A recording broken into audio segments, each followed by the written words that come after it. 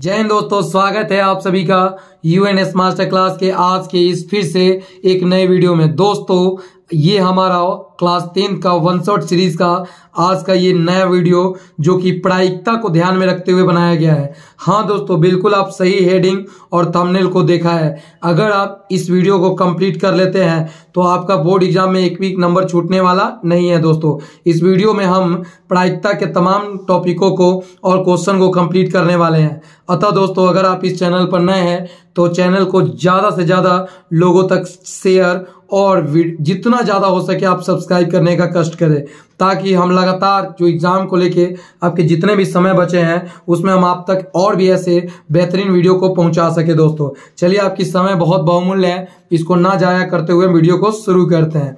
सबसे पहला हमारे पास सवाल यही आता है कि, सर, ये प्रायिकता होता क्या है? किसे कहते हैं प्रायिकता? तो मैंने लाडले कहा प्रायिकता को हम इंग्लिश में प्रोबाबिलिटी कहते हैं। ध्यान से सुनिएगा, प्रायिकता को हम क्या कहते हैं? तो प्रोबाबिलिटी कहते हैं।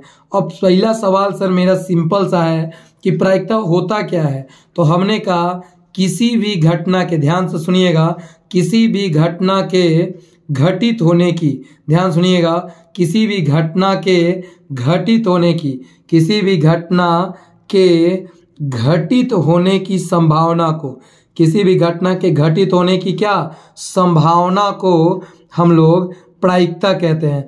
आइंदा कभी कोई पूछता है कि बताइए प्रायिकता क्या है लाडलो तो आप बता दीजिएगा। आपको एकदम सिंपल से शब्दों में कहना है किसी भी घटना के, किसी भी घटना के घटित होने की संभावना को हम लोग प्रायिकता कहते हैं। अब ये क्या है सर? मैंने कहा, लाडले, कुछ एग्ज़ाम्पल को देखते हैं। जैसे, मेरी बात ध्यान से सुनिएगा।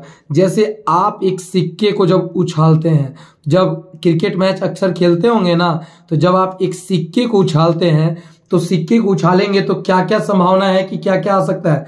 तो आप कहोगे, सर, या तो हेड आएगा या तो सर टेल आएगा। हमने कहा कि इसके अलावा भी कोई संभावना है क्या? तो नहीं, सर। या तो हेड है, या तो टेल। सर कभी कभी खारा हो जाता है। उनके मारेंगे दुल्हड़ बुढ़ हैं ऐसा तो नहीं करते। तुम काहे बुआ की तरह बात करते हो? नहीं, बुआ। याद रखना, सिक्का को अगर उछालोगे तो दो ही कंडीशन होगा। या तो हेड, या तो टेल। तो बताओ इसकी कितनी संभावनाएँ हैं? दो। तो यही, इस, यही संभावना का मतलब ही होता है प्रायिकता। ध्यान से सुनो।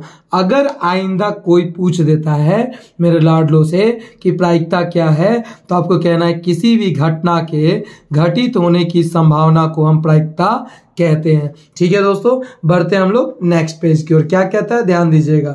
नेक्स्ट पेज में वीडियो को पॉज कर करके लिखने का प्रयास करेंगे। ठीक है दोस्तों, तब जाके बहुत बेहतरीन आपको समझ में आएगा। देखिए, आता है प्रायिकता से जुड़े हुए महत्वपूर्ण पद। सबसे पहला जो पद है, वो है कुल संभव परिणाम। ये क्या होता है? मेरी बात समझिए। जैसे मैंने कहा कि अगर आपने सिक्के को उछाला, अगर आपने किसको उछाला? सिक्के को। तो सिक्के में क्या एक सिक्के को अगर आप उछालते हैं तो सिक्का में क्या आ सकता है? या तो हेड आ सकता है, या तो क्या आ सकता है? टेल। तो कुल संभावना कितनी है? तो आप कहोगे दो। तो इसी को लाडले कहते हैं कुल संभव परिणाम। कुल संभव परिणाम को हम लोग एनएस लिखते हैं। क्या लिखते हैं? N S. अर्थात एन एस बराबर यहाँ पे क्या हो गया? तो आप कहिएगा, सर, दो हो गया।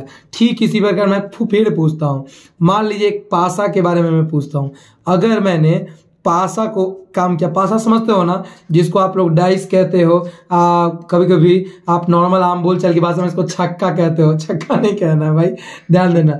यानी पासा क्या है जब पासा को आप फेंकते हैं तो पासा में क्या आ सकता है? या तो वन आ सकता है या तो टू आ सकता है या तो तीन आ सकता है या तो सॉरी या तो थ्री आ सकता है या तो फोर आ सकता है या तो फाइव आ सकता है या तो सिक्स आ सकता है या तो सेवन सेवन आता है क्या? नहीं सर इतने ही आते हैं। तो लाडले मैंने पूछा कि बताओ कुल कितनी संभावनाएँ हैं? कुल संभव परिणाम कितने हो गए? तो आपने कहा, सर, एक, दो, तीन, चार, पाँच छ तो यहाँ कुल संभव परिणाम छ हो जाएँगे। ठीक इसी प्रकार, मेरी बात ध्यान सुनिए। आप गए हैं किसी ट्रेन को पकड़ने के लिए। ट्रेन को पकड़ने के लिए गए हैं। तो यहाँ क्या संभावना है? यहाँ दो संभावना है। या तो आप ट्रेन को अच्छे से पकड़ लोगे, या तो आपकी ट्रेन क्या हो जाएगी? छूट जाएगी। अब बताओ मैं लाड ले अब अगर मैं पूछूँ कि कुल संभावनाएँ है कितने हैं तो आप कहोगे कि, सर, अब कुल संभावना दो हो गया। तो कुल संभावना अगर कोई पूछेगा, कुल संभव परिणाम, इसी कुल संभावना को हम लोग कुल संभव परिणाम के नाम से जानते हैं। बढ़ते हैं दोस्तों नेक्स्ट पॉइंट की ओर। काफ़ी वीडियो को हम लोग तेज़ी से करते हुए चलेंगे, ताकि ये वीडियो काफ़ी बेहतर आपके लिए साबित हो सके। क्या कह रहा है? देखिए, प्रायिकता की सीमा, यानी लिमिटेशन ऑफ़ प्रोबेबिलिटी ध्यान से सुनिएगा लिमिटेशन ऑफ़ प्रोबेबिलिटी कहने का क्या मतलब होता है? लाडले, जैसे अभी कुछ देर पहले आपने क्या पढ़ा था? आपने पढ़ा था कुल संभव परिणाम। क्या पढ़ा बताइए तो जल्दी से। आपने पढ़ा कुल संभव परिणाम। कुल संभव परिणाम क्या होता है? तो सर, किसी भी घटना के घटित होने कुल कितनी संभावना है, उसी को कुल संभव परिणाम कहते हैं। अब मान लीजिए, इसी में एक और टॉपिक आ जाता है। किसी घटना किसी ध्यान सुनिएगा? कोई टॉपिक है, किसी घटना किसी घटना ई के ई के घटित होने की संभावना। घटित होने की क्या संभावना? ध्यान सुनिएगा। घटित होने की संभावना। यानी आपसे कोई प्यारा सा बात आपसे पूछ दिया कि मान लीजिए हमारे पास कोई घटना ई है, इसके घटने की संभावना क्या होगी? तो लाडले, इसको हम लोग कहते हैं एनी, कहते हैं। क्या कहते हैं? एनी। जैसे अब मेरी बात समझिए। मैंने कहा कि अगर आपने एक सिक्के को उछाला तो कुल संभव परिणाम कितने होंगे? तो आपने कहा, सर, एक और एक दो। या तो हेड या तो टेल, यानी दो हो गए। लेकिन जब मैंने कहा कि किसी घटना ई के घटित होने की संभावना, यानी अगर मैंने कह दिया कि सिक्का उछालने पर हेड आने की संभावना क्या होगी तो हेड बताइए तो कितने बार आता है? तो एक बार तो यहाँ एनी का मान हो जाएगा वन। एनी का मान क्या हो जाएगा? वन। ठीक इसी प्रकार आपने पासा को फेंका। पासा में एक, दो, तीन, चार, पाँच छः आता है। मैंने कहा कि इसमें बताइए, सम संख्या आने की क्या संभावना है? तो सम संख्या कौन कौन आएगा? या तो दो, या तो चार, या तो छ तो जो फिक्स घटना की बात करें ना, उसी को काउंट करके लिख दीजिए। यानी कि यहाँ पर एनी का मान क्या हो गया? तीन। लाड ले मैं फिर से अपनी बातों को दोहराने का प्रयास करता हूँ। मेरी बात ध्यान सुनो। मेरा मकसद होता है तुम्हें इस वीडियो को ज़्यादा से ज़्यादा समझा सके, ना कि एकदम लेके करना है, नौटंकी की समय भी बर्बाद हो जाए, आपने कुछ प्राप्त भी नहीं किया। कोई पूछेगा, प्रायिकता क्या है? तो कहिएगा, किसी भी घटना के घटित होने की संभावना को प्रायिकता कहते हैं। जैसे सिक्का उछाला या तो हेड आएगा, या तो टेल, या यही एक संभावना है। इसी संभावना को हम लोग प्रायिकता कहते हैं। अगला पॉइंट ध्यान दीजिएगा दोस्तों। अब प्रायिकता हमने बोला था कि प्रायिकता से जुड़े हुए कुछ महत्वपूर्ण पद में हमने क्या बात किया कि सर, प्रायिकता से जुड़े हुए महत्वपूर्ण पद में सबसे पहला आता है कुल संभव परिणाम। यानी किसी भी घटना जब घटित होता है तो क्या क्या हो सकता था? यानी सिक्का उछाले तो या तो हेड या तो टेल तो कुल संभव परिणाम यहाँ कितने हो गए? तो दो हो गए। पासा को उछाला तो एक, दो, तीन, चार, पाँच, छह में से कुछ भी आ सकता है तो कुल संभव परिणाम कितने हो गए? छ इसी प्रकार ट्रेन अगर आप पकड़ने जा रहे हो, या तो पकड़ में आ जाएगी या तो छूट जाएगी। तो यहाँ कुल संभव परिणाम कितने हो गए? तो यहाँ दो हो गए। लेकिन अगर कोई कहता है कि किसी घटना के घटित होने की संभावना कोई फिक्स घटना कहेगा। कहेगा कि एगो सिक्का उछालने पर हेड आने की संभावना क्या होगी? तो हेड कै बार आएगा? एगो सिक्का में एक बार तो एनी का मान वन हो जाएगा। इसी प्रकार अगर कोई कहेगा, जैसे अगर मान लीजिए, आप गए हैं क्रिकेट खेलने। आप गए हैं क्या क्रिकेट खेलने? क्रिकेट जब खेलने गए हैं तो आपकी दो संभावनाएँ हैं। या तो क्रिकेट जब खेल रहे हो, यानी मैच जब खेल रहे हो तो या तो मैच को आप जीत जाएँ या तो दूसरा ऑप्शन है, या तो मैच को आप क्या हो जाए? हार जाए। तीसरा ऑप्शन क्या हो सकता है? सर ड्रॉ हो सकता है, यानी बराबर हो सकता है। तो यहाँ लिख दिया, चलो मैंने लिख दिया, तुम्हारा ये भी बात लिख लिया। मैंने कहा बराबर, यानी डाई हो जाए। तो अब मैंने पूछा, यहाँ एनएस का मान क्या होगा? तो तुम कहोगे कि, ए सर, अब तो पता चल गया। एनएस मतलब कुल संभव परिणाम। तो या तो जीत सकते हैं, या तो हार सकते हैं, या तो बराबर। तो कितने परिणाम हुए? तीन। तो ये हो गया एनएस। लेकिन अगर हम पूछ दें कि मुझे जीतने की संभावना क्या होगी? तो आप जितने जितने की बात कई बार हो रही है, एक बार ना तो यहाँ पर एनी का मान हो जाएगा वन क्या हो जाएगा? वन अब इस स्थिति में जब आपको प्रायिकता निकालनी होगी लाडले तो यहाँ पर एक सूत्र का आप लोग सहारा लेते हो, जिस सूत्र वीवीआई सूत्र है लाडले, ये होता है पी बराबर एनी बटा एन एस एनी बटा एन एस यानी किसी भी घटना के जब आप घटित होने की जब प्रायिकता पूछा जाता है ना तो उस घटना की संभावना बटा कुल संभव परिणाम के अनुपात की यह बराबर होता है। चलिए इस पे सवाल खूब पूछे जाएगा। आप बढ़ते हैं दोस्तों इसकी प्रायिकता की सीमा। क्या कहता है? यानी लिमिटेशन ऑफ़ प्रोबेबिलिटी तो ध्यान से सुनिएगा। प्रायिकता का मान मान लीजिए एक्स है। तो ये इसका लिमिटेशन यानी ज़ीरो से बड़ा या बराबर होता है और वन से छोटा या बराबर होता है। यानी एक लाइन में अगर हम आपसे बोलना चाहें ना कि सर आप क्या कहना चाह रहे हैं, यानी प्रायिकता की सीमा तो याद रखिएगा, प्रायिकता का मान कभी भी एक से कम नहीं होना चाहिए। अब कहोगे, सर, हम कैसे पहचानेंगे कि एक से कम है कि नहीं? तो अगर कहीं अगर आपको वैल्यू माइनस में दिखा तो समझ जाएगा कि प्रायिकता नहीं होगा। दूसरा दूसरा याद रखिएगा, अगर आपका वैल्यू एक से अधिक नहीं होना चाहिए। अगर वैल्यू आपका एक से अधिक निकला तो आप समझ जाइएगा कि वो भी प्रायिकता नहीं होगा। यानी आपकी जो प्रायिकता होनी चाहिए, वह ज़ीरो से लेकर एक के बीच में होनी चाहिए या ज़ीरो से लेकर एक तक होनी चाहिए। यही मेरे कहने का मतलब था। देखिए बोर्ड एग्ज़ाम आपसे कैसे सवाल पूछे जाते हैं। सवाल बहुत प्यारा सा है। निम्न में कौन प्रायिकता का मान संभव नहीं है? तो ऑप्शन ए है एक बटा दो, ऑप्शन बी है एक बटा तीन, ऑप्शन सी है दो बटा तीन, ऑप्शन डी है तीन बटा दो। ऐसे सिचुएशन में बच्चे कंफ्यूज हो जाते हैं कि आंसर क्या होगा। तो लाड ले आपको पहले पकड़ना है कि किसका मान ज़ीरो से एक से बड़ा तो नहीं माइनस में है क्या? नहीं सर माइनस में नहीं है तो पहला फिर रूल तो हमारा खत्म हो गया। अब चेक करना है कि एक से बड़ा है क्या? तो एक से बड़ा करने चेक करने का तरीका लाड ले क्या है पता है? एक तो सीधे आप पहचान लोगे, एक से ज़्यादा होगा तो सीधे पहचान लोगे। लेकिन अगर बट्टा में आ गया ना तो इसका तरीका होता है कि अगर आपका अंश जो है ना, वो बड़ा हो जाए हर से। ऊपर वाला अगर बड़ा हो जाएगा ना तो समझ जाना ये एक से इसका मान ज़्यादा होगा। देखिए इधर, एक बटा दो, अंश छोटा है ना तो समझिए इसका मान एक से कम होगा, छोड़िए। एक बटा तीन, अंश छोटा है ना, इसका ही मान एक से कम होगा। दो बटा तीन, अंश छोटा है ना, इसका ही मान एक से कम होगा। तीन बटा दो। देखिए, अंश बड़ा हो गया ना, यानी एक से बड़ा होगा, लेकिन हमको यही नहीं चाहिए, यही इस घटना की प्रायिकता नहीं हो सकती। अगला सवाल कर रहा है, निम्नलिखित में कौन सी संख्या किसी घटना की प्रायिकता नहीं हो सकती है? फिर बोले, वैल्यू माइनस में देखना है, सर, आ एक से बड़ा देखना है। तो लाडले, मेरे दिल के टुकड़ो, माइनस कहीं दिख रहा है? नहीं, सर, ये फेल हो गया। एक से बड़ा, ज़ीरो पॉइंट सेवन, यानी एक से छोटा है दो दशमलव पाँच सर, ये तो अढ़ाई एक से बड़ा है ना? यानी option B is the right answer percentage से कोई फ़र्क पड़ता उड़ता नहीं है। और यहाँ देखिए, अंश तो छोटा है ना तो बातें खत्म कीजिए। बढ़ते हैं दोस्तों न्यू टॉपिक की ओर। वीडियो को पॉज कर करके लिखेते चलिएगा। और हाँ दोस्तों, अगर आपके अंदर इस बार बोर्ड एग्ज़ाम में आग मचाने का, तहलका मचाने का किसी प्रकार को आप चाहते हैं कि आपके बोर्ड एग्ज़ाम में एक भी क्वेश्चन ना छूटे तो दोस्तों, ये आपके लिए बेहतर प्लेटफॉर्म है। आठ से दस दिनों की तैयारी में आप चाहें तो अपना मैथ में एटी से एटी परसेंट का स्कोर खड़ा कर सकते हैं। देखिए, हमारे पास अगला स्टार मार्क्स क्या आ गया? घटना के प्रकार, यानी किसी भी घट, किसी भी घटित घटना, यानी संभावना आप कह सकते हैं। प्रायिकता में कोई भी जो घटना होती है ना, इसको बेसिकली आप दो प्रकार की घटनाओं के रूप में जानते हैं। सबसे पहला जो होता है ना, उसको कहते हैं संभव घटना। सबसे पहला क्या होता है? तो पहला होता है लाडले, संभव घटना।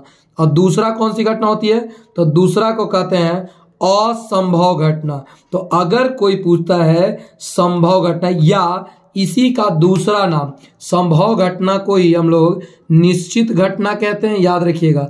इसी को हम लोग निश्चित निश्चित घटना कहते हैं और इसी असंभव घटना को हम लोग अनिश्चित घटना भी कहते हैं। अब ये क्या है, सर? तो लाडले सुनो, अनिश्चित घटना। भी भी आई है, बढ़िया से सुनो। कोई पूछेगा, घटनाएँ कितने प्रकार के होते हैं? दो। एक संभव घटना, दूसरा असंभव घटना। संभव घटना को हम निश्चित घटना कहते हैं, असंभव घटना को अनिश्चित घटना। लाडले, संभव घटना को हम लोग लिखते हैं पी के द्वारा। पीई लिखा रहेगा तो मतलब समझ जाइएगा यह संभव घटना। और असंभव घटना को लिखते हैं पीई डैश इस जैसा ही आपको लिखा मिल जाए, समझ जाएगा असंभव घटना।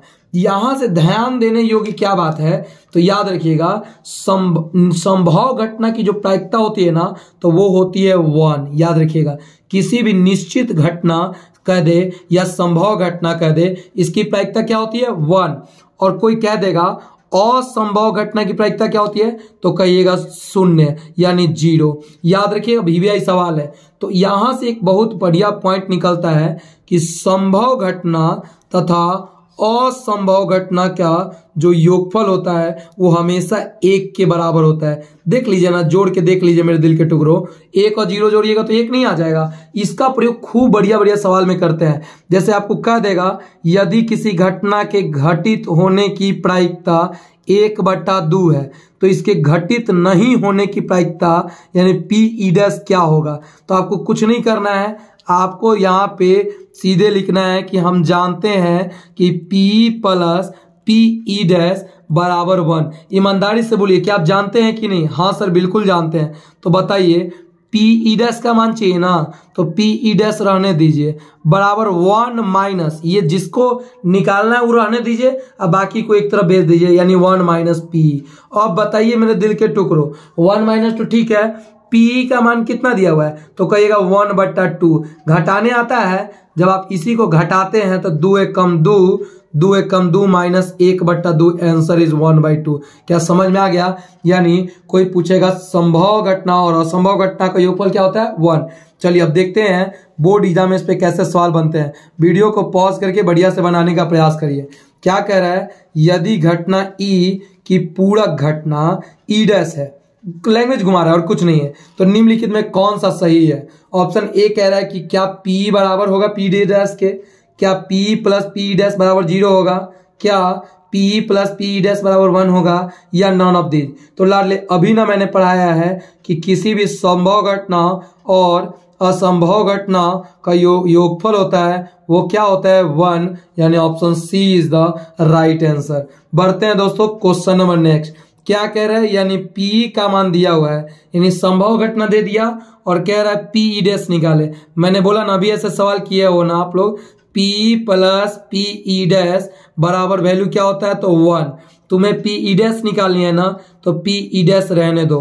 वन माइनस इसको उधर भेज दोगे? तो ये हो गया इधर पी ई अब बताओ मेरे दिल के टुकड़ो। वन माइनस पीई का मान क्या है? ज़ीरो पॉइंट ज़ीरो फाइव अब घटाने की बारी है। तो वन में से आपको घटाना है ज़ीरो पॉइंट ज़ीरो फाइव को।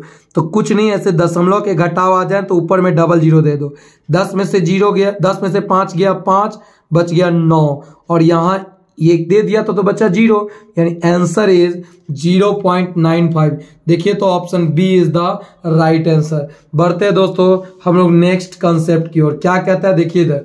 अगर वीडियो पसंद आ रही होगा तो प्लीज़ वीडियो को ज़रूर लाइक करें और अपने ज़्यादा से ज़्यादा दोस्तों तक इसको शेयर करने का कष्ट करें। क्या कह रहा है?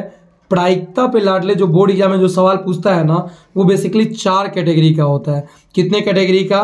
चार। कोई भी पूछेगा, प्रायिकता पे कितने कैटेगरी के सवाल पूछे जाते हैं तो कहना चार। सबसे पहला जो सवाल आता है ना, वो सिक्का पर आधारित आता है। सिक्का जिसको आप क्वाइन कहते हो। क्या कहते हो? क्वाइन याद रखना। सबसे पहला सवाल किस पे आता है? तो क्वाइन पे।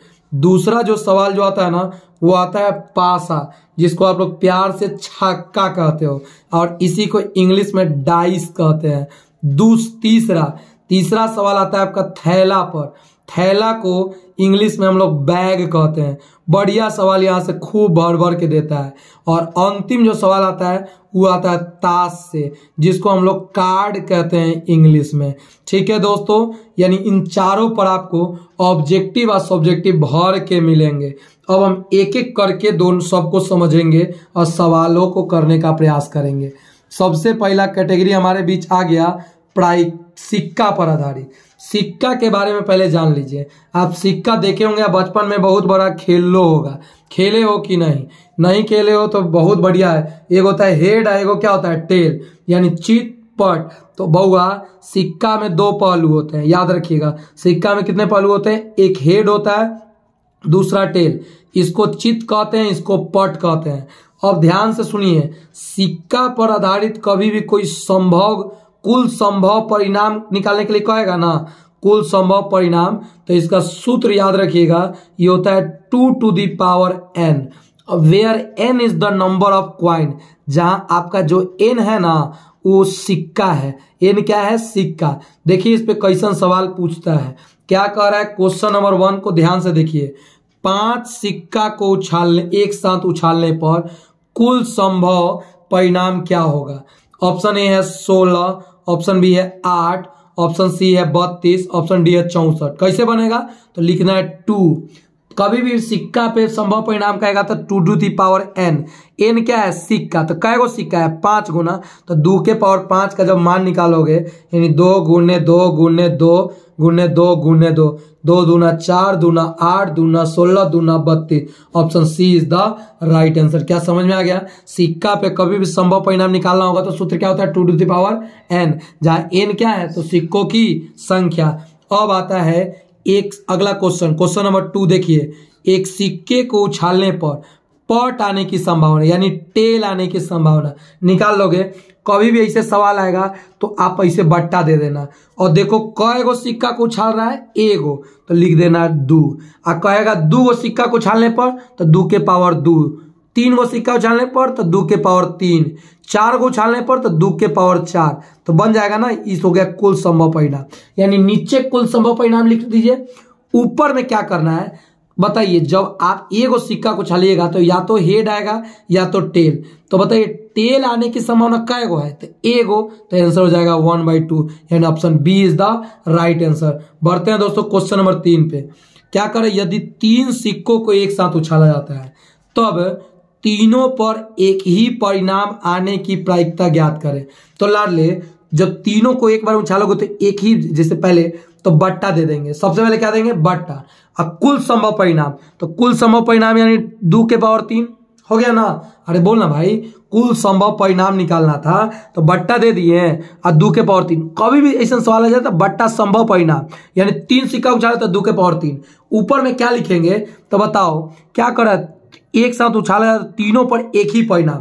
तो तीनों पर एक ही परिणाम क्या आ सकता है? या तो हेड हेड हेड आ सकता है, या तो टेल टेल टेल आ सकता है। तीसरा कोई ऑप्शन है क्या कि जो दोनों पे सेम आ जाए? नहीं। तो कै गो संभावना हुआ तो एक और एक दो। तो ऊपर लिखेंगे दो। ऊपर दो रहने दो।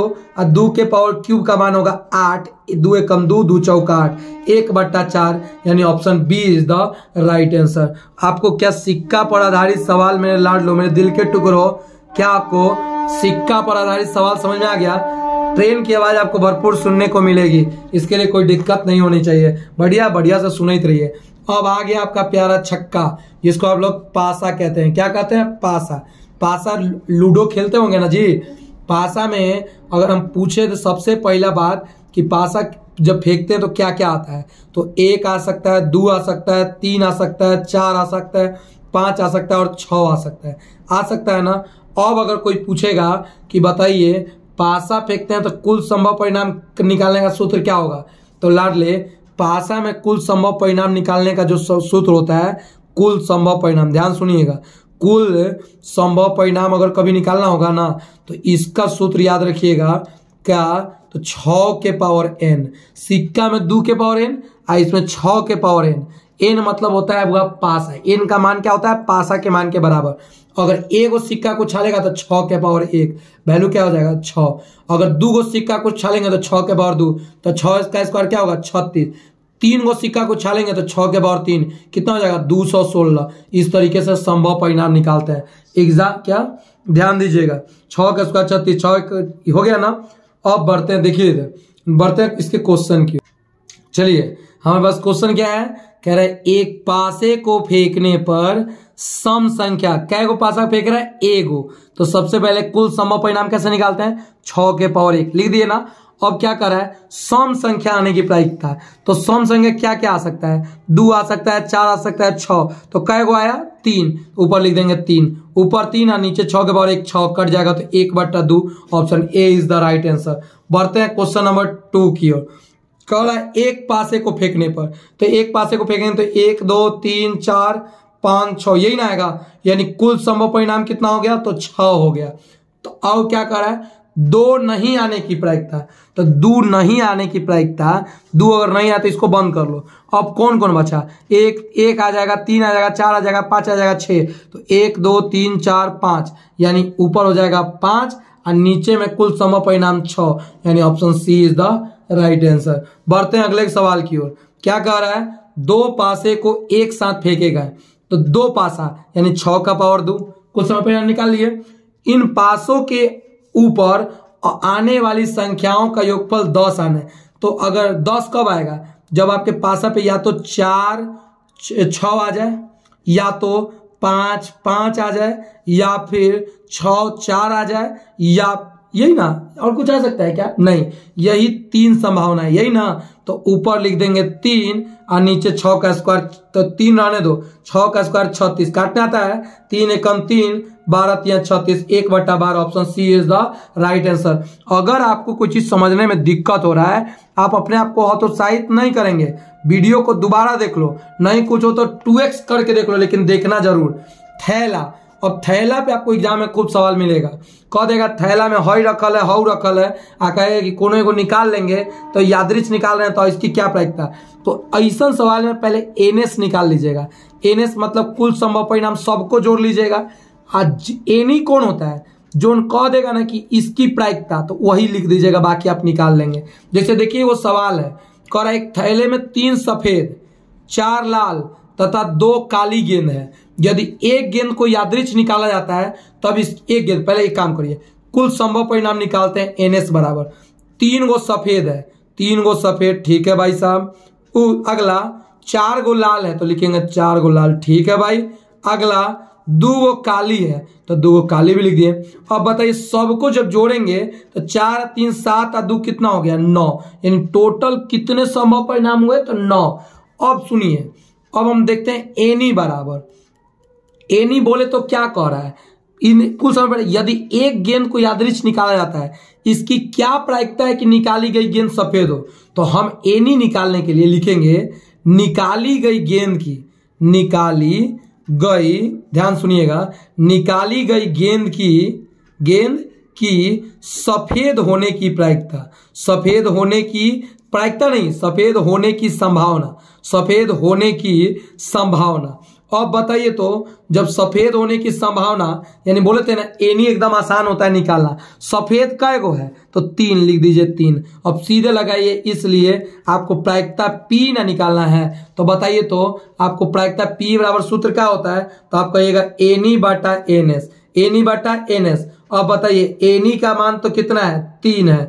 एन एस का मान कितना है? नौ। जब काटेंगे तो तीन है कम तीन और तीन तीन, नौ, यही हमारा आंसर हो गया। क्या आपको समझ में आया? थैला पर कभी भी अब इसी सवाल को ऑब्जेक्टिव बनाना होता। तो क्या करते? लिखते कुल संभव परिणाम। कुल संभव परिणाम कैसे निकालेंगे? तीन, चार, सात और दो, नौ, बट्टा नौ लिख देते हैं। और कौन सी निकाली गई गेंद? सफ़ेद हो। सफ़ेद क्या है तीन गो तो ऊपर दे देंगे तीन। तीन एकम तीन तीन तीन, नौ, आंसर वन बाई थी कहता लाल होने की प्रायिकता। पहले कुल समय परिणाम नौ लाल का है चार आंसर हो जाएगा चार बट्टा नौ। समझ में आ गया? चलिए, बढ़ते हैं हम लोग नेक्स्ट पार्ट की ओर। नेक्स्ट क्या कहता है? ताश पे आधारित सवाल। ताश जिसको आप कार्ड कहते हैं। सबसे ज़्यादा एग्ज़ाम पे मैं दिल के टुकड़ों कार्ड पे सवाल आता है। वीडियो बहुत थोड़ा सा बचा है। जितना जल्दी हो सके कंप्लीट करेगा और हाँ इस वीडियो का नोट्स आपको कहाँ मिलेगा? इसका वीडियो के अंत में आपको बता दिया जाएगा। ताश को लेके आप ध्यान से सुनिए। क्या कह रहा है कि एक ताश की गड्डी। पहले तो आप ताश समझ रहे होंगे, दिवाली में खूब चलता है। ताश में कै गो पत्ती होता है तो बावन गो कै गो बावन गो। ताश होते हैं ना, दो अलग अलग भागों में बटे होते हैं। एक होता है लाल रंग, एक क्या होता है? लाल रंग। और एक होता है काला रंग। एक होता है लाल रंग और एक होता है आपका काला रंग। अब हम बात कर रहे हैं, लाल रंग जो होता है ना, ये होता है छब्बीस गो। और काला रंग भी क्या होता है? छब्बीस गो। अब सुनिए लाल रंग भी दो प्रकार के होते हैं। लाल रंग भी कितना प्रकार के दो। एक होता है लाल पान, एक होता है लाल पान, और एक होता है क्या? तो एक होता है बुआ ईट। क्या होता है? ईट। ध्यान दीजिएगा। देख, एक होता है आपका चिड़िया। सॉरी यहाँ मिस्टेक हो गया। ध्यान सुनिएगा। एक होता है आपका चिड़िया। क्लियर है ना? अगला। तो ये जो लाल पान देखते हैं ना, ये होता है छब्बीस गो। और चिड़िया कै गो होगा सॉरी ये लाल पान तेरह गो और चिड़िया भी कै गो तेरह गो फिर से सुनिए, पूरी ताश की गड्डी में कितने पत्ते? बावन। बावनों पत्ता कै गो भाग में बटल है दो। एगो लाल रंग, एगो काला रंग। लाल है तेईस, छब्बीस गो और काला रंग है छब्बीस गो। लाल रंग भी दो प्रकार के, एगो लाल पान, एगो चिड़िया। काला रंग भी जो होता है ना ये भी आपको दो प्रकार में देखने को मिलेंगे। एक होता है काला पान, एक होता है काला पान ठीक है? और एक होता है आपका ईट होता है। अब सुनिए काला पान होता है आपका तेरह गो और ईट होता है तेरह गो।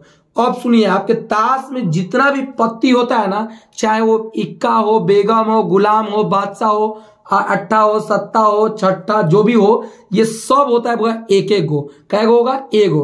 तो अगर हम पूछेंगे कि बताओ इक्का कै गो होगा तो कहोगे, सर, इक्का ए में एगो होगा? ए में एगो होगा ए में एगो होगा एगो यानी टोटल इक्का कै? गो चार। तो ताश में जितने भी पत्ती होते हैं ना वो क्या क्या गो होता है? तो चार चार गो लेकिन डिपेंड करता है। अगर कह देगा कि, कि अगर ताश की गड्डी से एक पत्ता निकाला गया है वो बताएँ कि निकाली गई पत्ती लाल रंग की इक्का हो। तो लाल रंग में कै गो इक्का होगा? एगो ई आ एगो ई तो एक एक कै हो गया? दो। कहेगा कि एक गड्डी से एगो पत्ता निकाला जाता है। बताइए क्या प्रायिकता है कि वो इक्का लाल पान का हो? तो यहाँ अब ये दोनों नहीं होगा। लाल पान में क्या होता है? एगो अगर सोझे कुछ ना पूछे तो कहिएगा चारों सीधे। क्लियर है? देखिए अब ताश पे कैसा सवाल पूछता है। सवाल है अच्छी तरह से फे, फेंटे गए बावन ताश की एक गड्डी से एक पत्ता यादृच निकाला जाता है। इसके काले रंग का बादशाह। सुनिए इधर। सबसे पहले एनएस का मान आपको दिया हुआ है कुल छत्तीस दिया हुआ है। सॉरी एनएस का मान कितना दिया हुआ बावन दिया हुआ है। अब कह रहा है, एक पत्ती यादृच निकाला जाता है। काले रंग का बादशाह। तो लाडले, अभी बताइए, आपने क्या पढ़ा? काला रंग में दो गो भाग होता है, तेरह तेरह गो, यानी दोनों में एक एक गो है। तो बताइए, यहाँ काले रंग का बादशाह तो बादशाह यानी यही ना जी? काला रंग। काला रंग में यानी छब्बीस गो और छब्बीस गो में कै गो बादशाह होगा? तो सर, दू गो होगा तो एनी का मान दू। तो तुम जानते हो, पी बराबर क्या होता है? एनी बट्टा एन एस तो एनी का मान दू एन एस का मान बावन काटेंगे तो एक बट्टा छब्बीस, यानी option B is the right answer. बढ़ते हैं अगला क्वेश्चन। अच्छी तरह से फेंटी गई गड्डी से एक पत्ता यादृच निकाला जाता है, ठीक है? कह रहा है कि इसकी क्या प्रायिकता है कि निकाली गई पत्ती इक्का पूरा की बात कर रहा है। तो नीचे तो पहले कुल परिणाम बावन हो जाएगा और इक्का इक्का तो इक्का पूरे ताश की गड्डी में कितना होगा? तो आप कहिएगा सर चार गो होगा। अब इसको काटने तो आता है, काटने के बाद इसका कौन सा ऑप्शन होगा? ऑप्शन ए होगा कि बी होगा कि सी होगा कि डी होगा। इसको आप कमेंट के रूप में लिखना ना भूले। दोस्तों, आपके कमेंट का हम काफ़ी बेसब्री से इंतज़ार करते हैं। और हाँ इस वीडियो का जो आपको नोट्स लेना हो, या फिर क्लास टेंथ के किसी भी सब्जेक्ट का आपको फ्री नोट्स लेना हो तो दोस्तों, आप हमारे टेलीग्राम ग्रुप टेलीग्राम ग्रुप का नाम है UNS master classes UNS master classes 2.0 ये जो चैनल है टेलीग्राम चैनल इस पर जाके ज्वाइन कर ले, इस पे आपको नोट्स मिल जाएँगे। और हाँ दोस्तों, यह वीडियो कैसा लगा, अपने फीडबैक के रूप फीडबैक को कमेंट के रूप में देना ना भूले। मिलते हैं दोस्तों, एक नई वीडियो के साथ, तब तक के लिए जय हिंद।